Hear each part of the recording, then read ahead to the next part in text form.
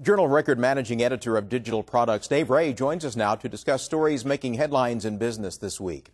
Dave, Chesapeake tops our list again as the natural gas giant lost an appeal in Texas.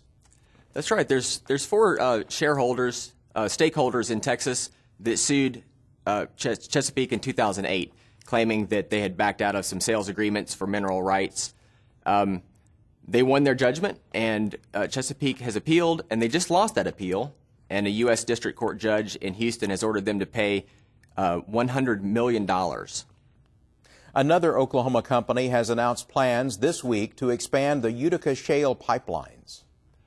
That's right. Williams Partners has uh, they announced Tuesday that they're going to fund a joint uh, a, a, joint venture with uh, Caiman Energy, and they're going to produce midstream equipment uh, that'll take that, that'll help gather and produce and transport oil out of that area uh, known as the Ohio Valley. Here's an interesting story. Oklahoma will soon be getting its first co-housing development. Tell us more about that.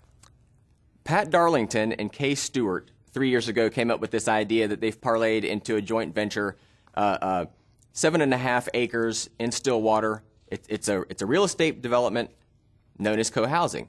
And what they're going to do when they finish, they're not quite finished yet. They're going to have six units each unit has uh, one common building that, that facilitates, has a kitchen, has a, a, media room, things of that nature, an office, a shop, and then attached to each of these is four individual uh, living areas, residences.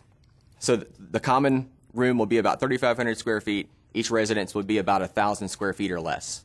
Dave, construction is planned to begin in Tulsa this fall, and Tulsans will be relieved to hear it's not on the highways. That's right. Developer John Bumgarner is going to add 51,000 square feet to the Utica Place 11 uh, story tower there in, in Midtown.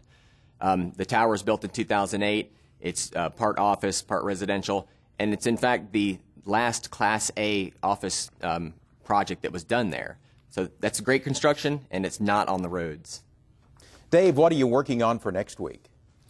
Well, the second biggest mall, uh, Promenade Mall in Tulsa, is now officially for sale, and our uh, our our Tulsa bureau chief Kirby Lee Davis has put a call into the broker, and next week we're going to bring you all the details on that.